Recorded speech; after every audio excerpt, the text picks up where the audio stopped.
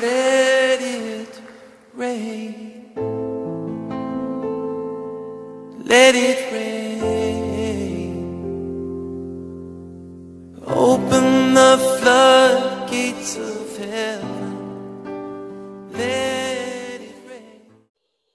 Hello, a very good day to you. My name is Sister Temi Tayo, and I'm a Christian content creator. I'm here to share the Open Heavens devotional compiled by the General Overseer of the Redeemed Christian Church of God, Pastor E.A. Adeboye. The reason I'm sharing from this particular Christian book is because God instructed me to do so as I prepare to enter into the year 2020. So, this is my fourth year of sharing the Open Heavens and all those videos from 2020, 2020 those open heavens videos from 2020 are all loaded on my youtube channel. My handle on youtube is Temi Aghedo which is right on the screen.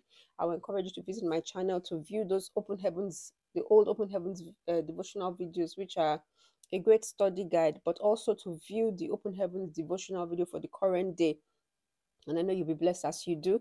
And while you're on my channel, please don't forget to subscribe. Pastor led me to Christ in October 1997, a few years back when I was an undergraduate in the University of Lagos, Nigeria, in West Africa. And Pastor gives you a few scriptures from the Bible and a memory verse, and that helps you to understand the body of the text. Praise God. So today is Wednesday, July the 5th. Wednesday, July the 5th. And the title of today's daily devotional is Divine Blessings. So we just finished a three day series on divine uh, help. And now we're starting a three day series on divine blessings. And today is day one of divine blessings. Amen. So our scripture reading is taken from the book of Genesis, chapter 26, verses 17, 12 to 17. Genesis 26, verses 12 to 17. The title again is Divine Blessings, Part 1. And this is a three day series. Praise God. So I'm going to be reading this time from the New King James Version Genesis chapter 26, verses 12 to 17. The Bible says, And then Isaac sowed in that land and reaped in the same year a hundredfold, and the Lord blessed him. The man began to prosper and continued prospering until he became a, until he became very prosperous. For he possessed he had possessions of flocks and possessions of herds and a great number of servants. So the Philistines envied him. Now the Philistines had stopped up had stopped up all the wells which his father's servants had dug in the days of Abraham, his father, and they had filled them with earth. And Abimelech said to Isaac, Go away from us, for you are much mightier than we. Verse 17 Then Isaac departed from there and pitched his tent in the valley of Gerar and dwelt there. Praise God. May the Lord bless the reading of his word. Now, the memory verse is taken from the book of Proverbs chapter 10, verses 28. Proverbs chapter 10, verses 28. And it says that the blessing of the Lord, it maketh rich and it added no sorrow. That's a worthy memory verse. Proverbs 10, 22. It says, The blessing of the Lord maketh rich and it added no sorrow. Praise God.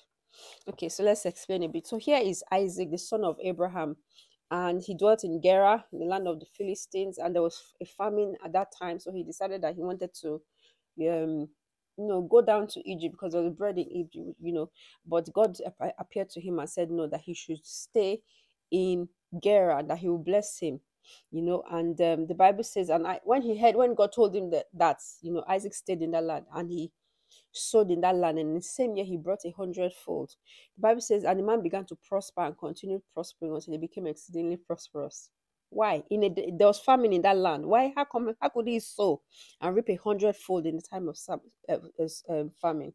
Because God told him to remain there. So you may be where you know in a country, maybe you know a third world country somewhere where things are so bad, and everybody is looking for greener pastures up and down. You know, I same thing. This is same thing that Isaac wanted to do. There was famine in the land. There's famine in your land. There's economic famine, financial famine, every kind of famine you can name and you want to leave.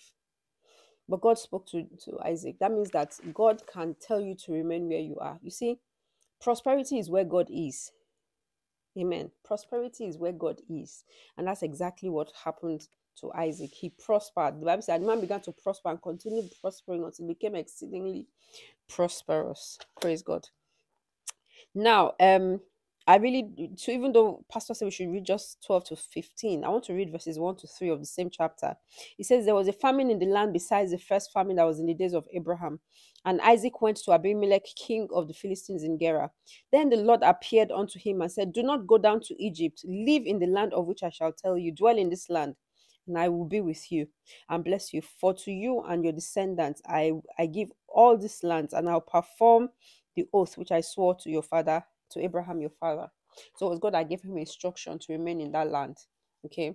So before you um before you escape from the land where you are because um you know you think things are bad you should ask god first especially if you're a christian the lord is our shepherd we shall not we shall not want you know and this is the mistake that uh, ahimelech um the husband of naomi made there was um famine in the land of bethlehem and he decided to to leave bethlehem because he thought that oh you know so he took his wife and his two sons and went into the land of moab and he died his sons died you know, and um, his wife then had to return back home, a widow. Before you, you are different, you know. The Bible says the Lord is our shepherd; we shall not want, you know. Let anyway, let's let's divine blessings part one. Pastor said divine blessing can be described as a command from God that will make all the forces in heaven, on earth, and under the earth favor an individual or group of people. A divinely blessed person or group of people will succeed where others are failing. For example, in our Bible reading today, Isaac sowed during a famine and he reaped a hundredfold. In other words, he succeeded where others were failing. We can trace this remarkable result to God's blessing over Abraham, Isaac's father. In Genesis 22, verse 70, he said that in blessing I will bless thee, and in multiplying I will multiply thy seed as the stars of heaven, and as the sand which is upon the seashore. And thy seed shall possess the gates of his enemies. Amen. So divine blessing, pastor is saying that divine blessing is when um God, divine the word divine means you know the intervention of God. That's divine. You know, when God blesses a person or a certain group of people or a generation, a, a person and his generation, it doesn't matter where that person is. That person will succeed when the person is blessed you know that person will succeed where others are failing and that's exactly what happened to isaac you know the bible says that we children of god we are blessed with faithful abraham Oh, okay so our pastor has explained to us that today the reason why in this in this scripture that we read the reason why isaac succeeded where others failed is because god had pronounced a blessing upon abraham on upon his father abraham that in blessing i will bless you so it didn't matter where this guy was he would prosper and that's we see that very much so with the Jews. But you see, as Christians, we have even our promises, our covenant is built on better promises. You know, we are the seed of Abraham. You know, because if you are Christ, then you are Abraham's seed and an heir according to the promise. So wherever you find yourself, just think about it that in that same country where you're running away from, some people are prospering, some people have become billionaires in that situation. They have made money that they cannot make in the so-called Europe and wherever. Why? So if they can make, if they can prosper, how much more you? So the prosperity and the blessing of God is where God's instruction concerning you is. Amen. God had promised to bless Abraham and multiply his seed after he passed the test in Genesis 22. Little wonder why Isaac will sow and reap a hundredfold during a famine. So you see, blessing is attached to obedience, and that's exactly what happened to I to Abraham. He he followed the instruction of God. You know when God said, "Leave your father and your mother. Come, I will show you. I'll take you into a land where you do not know, and I'll give that land into, to you and your descendants forever." You know, and when he did that, God blessed him. He said that in blessing, this is God talking. That in blessing I will bless thee, and in multiplying I will multiply thee multiply thy seed as the stars of heaven and as the sand which is upon the seashore, and thy seed shall possess the gates of their enemies. Remain, stay where God puts you. Very important. Very, very important. The scriptures have shown us of people who remained where, you know, where, where God led them to stay where they were, and God blessed them indeed. Okay, so don't just run away from a place because it looks like there's famine. If you run away from your place of divine assignment, if he Bible says that he that wanders from the path of understanding will rest in the assembly of the dead. The worst thing that can happen to a person is to be in a place where God is not.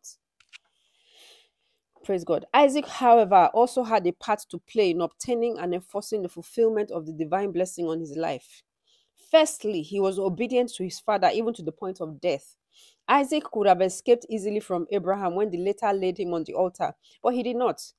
that that must have really pleased God. Secondly, he obeyed God's instruction to stay at Gerar, even when, humanly speaking, it did not appear to be the right thing to do at the time, considering the famine in the land. So, Pastor is saying that you see, even though Isaac was from a lineage of blessing, the blessing just fell upon him. You know, he was he was blessed because he was the seed of Abraham. So he he he, was born into a blessing. Amen. He was born into a blessing. He did he didn't need to do anything. The blessing fell upon him because God had promised that he will bless Abraham and his seed. So Abraham, eh, Isaac didn't have to do anything. But then Pastor is saying that you see, when God blesses us, we have a part to play, and that's exactly what happened. Because you see, number one, firstly, the blessing remained with Isaac because he was obedient to his father. Because what happened was that God said that Abraham should take Isaac, his son, and go and sacrifice him on Mount Moriah. Now, history is saying to us that Isaac was between the ages of 28 to 32, 38, thereabout. So this was not a small boy that, you know, they just put him, they were going to put him on the altar he knew because when he got to the he said to my father i said we have the ram and everything. Where is the you know we have the the wood and the rope. Where is the sacrifice? And um you know uh, abraham said the lord will provide himself you know a sac- uh, you know uh, you know uh, the sacrifice you know. So even when he found out that he was going to be the sacrifice he yielded up himself. He was ready to die you know, he he did not because he was 20 years and his father was over 100. All he needed to do was push the old man and run away. But even though he knew that there was no sac, he was a sacrifice. He did not run away. He was willing to yield, and that's why Pastor says he was obedient to his father even to the point of death. Isaac could have escaped easily from Abraham when they later laid him on the altar, but he did not. So he laid. He was ready to be given up. You know. So and God would have accounted it unto him for righteousness. And the second thing is when God told him to remain in Gerar, in Gerar, in a land of famine, Isaac didn't say, You gotta be kidding me. No, no, definitely not. He stayed. He obeyed God. He obeyed the Lord, you know, and stayed where God put him. So the blessing definitely had to rest upon him because he was obedient in these two occasions. Pastor says, Only those who are, are you obedient? Are you obedient to the instructions of God? If you want to be blessed, then remain where God puts you. Your life and your destiny is resting upon that obedience. When God says, "Don't do something," don't do it all. Mary said to to the servants, He said, "Whatsoever He tells you to do, do it." You must understand that the plans that God has for you are plans of good and not of evil. And it doesn't make sometimes it doesn't make sense. It didn't make sense in these two situations, but you've got to learn to trust God with your life. You know, Esther said, I will go before the king. She said, If I perish, I perish. The three Hebrew boys, they said, You see, if God does not deliver us, we still will not bow. You must trust God. If God says, Stay somewhere, stay there, sir. Stay there. And thank Him that you can even hear His wonderful and glorious voice. Pastor says, Only those who are obedient to divine instructions will experience divine blessings. Mary, the mother of Jesus, the mother of the Lord Jesus Christ, told the maidens that whatever Jesus asked them to do, they should do it. And their obedience led to the divine provision of much better wine for the guests at the wedding in John 2 5 to 10. God's God's instructions usually they don't make human sense. They make spirit sense, but they don't make they make they don't make sense to the human mind. So you have to be a man or a woman of, his, of the spirit to follow God's instructions. The Bible says that Abraham believed God and he was accounted unto him for righteousness. You see, and when Jesus Christ told them to go and fill the water pots during the wedding, in the uh, in Cana of Galilee, to fill the water pots with water, and then take that water and go and give it to the master of the ceremony, they thought it sounded crazy, but then they listened to Mary, and you know they did what she told them to do, and behold, the water was turned to wine. And He's the same yesterday, today, and forever. Believe the Lord your God, and you shall be established. Believe also His prosper, His prophets, and you shall prosper. Beloved, divine blessing is sweet, pleasant, and without sorrow. Surrender your life to Jesus Christ. Live in complete obedience to God. Mm. Beloved, divine blessing is sweet, pleasant, and without sorrow. Surrender your life to Christ. Live in complete obedience to God, and you will experience divine blessings in every area of your life. In Jesus' name. If you want to experience divine blessing, the Bible says it is the blessing of God that maketh rich and added no sorrow. Let me give you an example. If God blesses you with um, a Tesla, for example, and maybe you live in a very dangerous neighbor, neighborhood, if, if, it's, if it's God who blessed you with that car, nobody will be able to steal that car. Why? Because the blessing of the Lord in your life, in our lives, it maketh us rich and it added no sorrow. You know, a friend of mine wanted to buy a car and she really wanted to buy a golf, but at that time they were stealing golfs. So she said she was not going to buy a golf because they were stealing golfs at that time. But you see, if it's God that blessed you with the golf, the blessing of God, that the blessing, it will make you rich and it will not add any sorrow because it is God who blessed you. You know, and He will also keep that blessing. Amen. If God blessed you with a wife, that blessing it will make you rich and it will add no sorrow. If God blesses you with a husband and a child, the blessing, that blessing of the Lord in your life, it will make you rich and it will not add any sorrow. Amen. Give your heart to Christ. If you want to experience divine blessing, then you must give your heart to Christ. Genuinely repent and be obedient to God. God's God's blessings, it cannot be compared to anything. Hallelujah. The prayer point is Father, please bless me indeed and take evil far from me.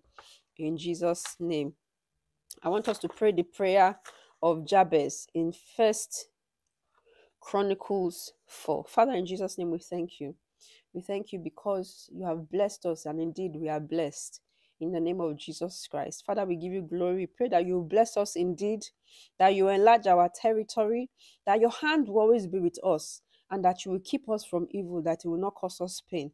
In the mighty name of Jesus. And we pray that as you granted the and heard and granted the request of Jabez, we ask that you will grant our own request today and bless us indeed with faithful Abraham in the name of Jesus.